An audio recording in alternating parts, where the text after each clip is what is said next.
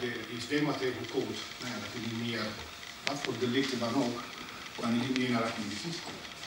Maar meneer is toch veelpleger geworden omdat hij die zelf pleegt toch niet wegens geweldsdelicten. Vindt u het echt noodzakelijk voor dit feit? Ehm, ja, ik vind, wij vinden het noodzakelijk inderdaad, eh, als we willen eh, zorgen dat de betrokkenen niet meer in aanraking met justitie komt, of minder in aanraking met justitie komt, dan moeten we moet ervoor zorgen worden dat hij ehm, ja, wat eh, ja, contact krijgt, wat tot nu toe niet gelukt is. Heeft u zelf nog vragen, meneer eh, Van Zomeren, aan de... Komt- Vragen, vragen, daar gaat het nu om. Je had toch geen tijd, je wou het gewoon eventjes kort bespreken, want je had nog een afspraak. En nu beweer jij dat ik van alles en nog wat heb geaccepteerd? De rechtbank heeft eh, duidelijk van u begrepen dat u het er niet mee eens bent Ja. en eh, dat u het een slecht idee vindt om de ISD-maatregel op te leggen. Dat is waar, het is gelogen en ik vind het niet oké dat ik twee jaar ga zitten met hem. Meneer Van Zomeren, dat heeft de rechtbank wel goed begrepen. Zijn er verder nog eh, vragen aan u over de persoonlijke omstandigheden? Moeten er nog stukken voorgehouden worden? Wat betreft de bewijsconstructie, de officier van justitie meent dat cliënt de aangeefster Annette de Groot opzettelijk zou hebben mishandeld. De officier van justitie stelt dat hij daarvoor voldoende wettig en overtuigend bewijs aanwezig had. Maar dit bewijs is er juist niet. De verklaring van de aangeefster, mevrouw Annette de Groot, die draagt niet bij aan bewijs. U heeft het al besproken. Zij is een labiele persoonlijkheid. Ze is verslaafd en zij is dan ook niet in staat om een geloofwaardige verklaring af te leggen. Maar belangrijker nog, uit haar aangifte volgt dat zij helemaal niet weet wie haar geslagen heeft. Ze heeft het alleen maar over een man en dat is alles wat ze weet. Dan is er nog een getuige, de heer Amaalse, die in het kader van het buurtonderzoek is gehoord. En deze verklaart dat hij de aangeefster heeft gezien met een man. En met die man had zij ruzie, heer Amaalse. Hij zou ook gezien hebben dat die getuige slaande bewegingen maakt naar de aangeefster. Maar hij heeft niet verklaard dat die man de aangeefster heeft geraakt en dus heeft geslagen in haar oog. Verder verklaart deze getuige ook dat hij die man helemaal niet goed gezien heeft. Want die man heeft een muts op of een capuchon. Bewegingen maken naar de aangeefster. Dat is alles. Dus de getuige heeft mijn cliënt in ieder geval niet herkend. Maar dan volgt er een foto. Dus niet meerdere foto's waaruit de getuige Amaalse kan kiezen. En dan wijst die cliënt aan. Ik vind dat niet zo vreemd dat die cliënt aanwijst. Hij kent de cliënt. De cliënt is bekend in het straatbeeld rond het station. Ik weet dan ook dat aan die fotoconfrontatie geen waarde, waarde kan worden gehecht ten aanzien van het bewijs. Wat ik net al zei.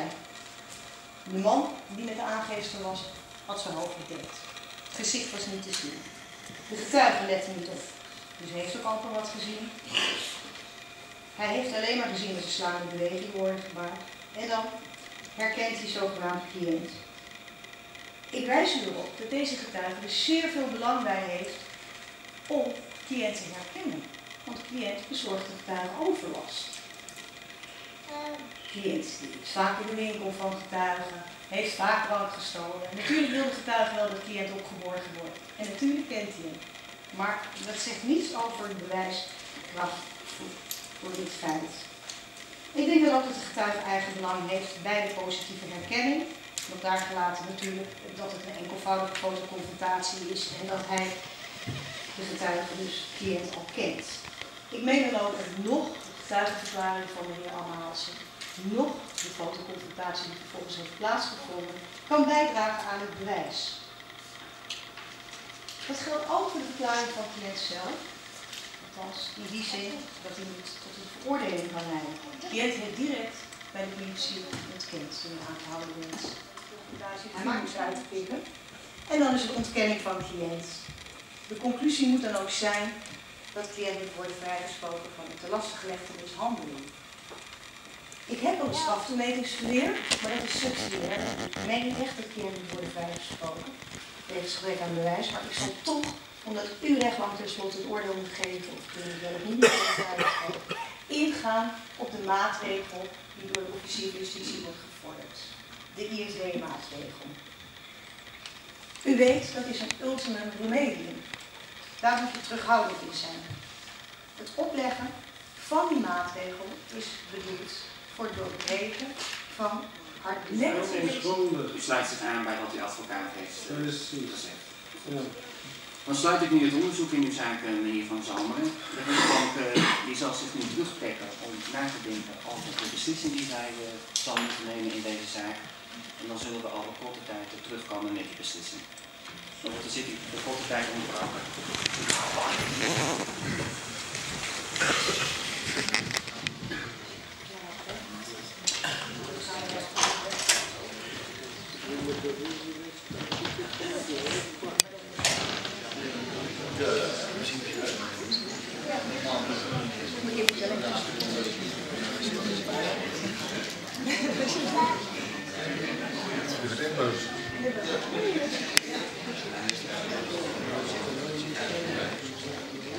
De rechtbank zal zo meteen ook eh, uitspraak doen. Alleen voordat de rechtbank dat zal doen, is de rechtbank eigenlijk ook wel benieuwd naar hoe anderen hier in de zaal eh, over de zaak denken. En misschien is er iemand in het publiek eh, die wat wil zeggen. Nou, geen vrijwilligers. Ja, u wilt wat zeggen. Ja. Ik vind dat de advocaat een goed pleidooi heeft gehouden en eigenlijk alle argumenten van de officier van justitie onderuit heeft gehaald. Dus als u hier zou zitten, dan zou u me niet In ieder geval wel voor dit geweld. Eh, Ja. Ja, en daar gaat het eh, nu alleen om, om de mishandeling. Ik, moest, eh, ik denk het is tijd om te denken, wat is goed in het algemeen voor mij? Ik heb gehoord dat af en toe bij eh koude seizoen gaat u iets pikken om alleen in eh eh, gaan, alleen een warme plek hebben. Vindt u altijd voor heel leven goed? Koud is, hè? Dan hebben we het over als het echt ijzerlijns koud is, ja, dan Snap moet je wel. wel, hè? Mag ik, mag ik mijn idee zeggen? Als ik u was, Ja. ik, ik draag, omdat ik heb, ik zie geen andere van die... Nee, maar mevrouw, eh, ja, u bent voor de ISC, dat is duidelijk. Alleen de rechtbank kan pas de ISC. als met wat ik nu hoor er gezegd wordt dat hij schuldig is. Want misschien is die vrouw wel na dat delict gevallen en heeft ze daardoor een doelwit al als ze labiel is en verslaafd en dronken en weet ik wat. Ik vind dus dat je echt moet hebben, iemand moet hebben gezien of met, weet ik het, vingerafdruk of weet ik wat, dat iemand geslagen is. Ja, u zegt, ik zal het ook even herhalen voor de mensen boven. U zegt, eh, u vindt aangifte in elk geval onvoldoende om daarop een bewijsverklaring te stoelen. Ja. Omdat, er, ja, gezien En- en ook al wie die mevrouw is, eh, dat het ook mogelijk kan zijn dat zij later is gevallen, Ja. dat iemand anders het heeft gedaan en dat het in elk geval op basis van de aangifte niet vaststaat of meneer wie degene is geweest die deze mishandeling heeft gepleegd. En het enige rechtstreekse bewijs daarvoor is de fotoconfrontatie. De aangifte van mevrouw Annette Groot, die is daar niet duidelijk over. Mevrouw de Groot kan geen informatie geven over wie precies degene is geweest die haar heeft mishandeld. En vervolgens de eerste verklaring van de winkelier biedt daar ook onvoldoende aanknopingspunten voor. En dan komt het dus aan op de fotoconfrontatie. Dat is dan het bewijsmiddel waaruit uw schuld zou moeten blijken. Nou, en de rechtbank is van oordeel dat de fotoconfrontatie onvoldoende wettig en overtuigende basis biedt om het te bewijzen verklaren. En de rechtbank vindt in dat verband met name van belang dat deze winkelier, die u kent, dat ook mevrouw Annette Groot, die u ook kent, u in eerste instantie helemaal niet noemen, de winkelier ook niet. En de winkelier heeft zelf ook gezegd dat hij de man niet heeft goed kunnen zien, omdat hij een capuchon of En dat betekent dat de rechtbank niet bewezen acht dat u mishandeling heeft gepleegd. Dus de rechtbank spreekt u daar ook van vrij. Oké. Het betekent ook eh, dat de rechtbank het van voorlopige hechtenis in uw zaak zal opheffen.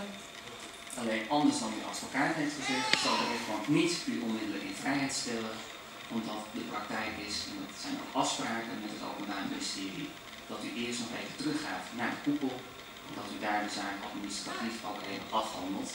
Maar in elk geval hoeft u voor deze zaak niet vast te zitten. Dat is de uitspraak, meneer Van Zomeren. Eh, de officier van justitie heeft twee weken tijd voor beroep. En eh, dat is het voor vandaag. Dan wordt de zitting gesloten.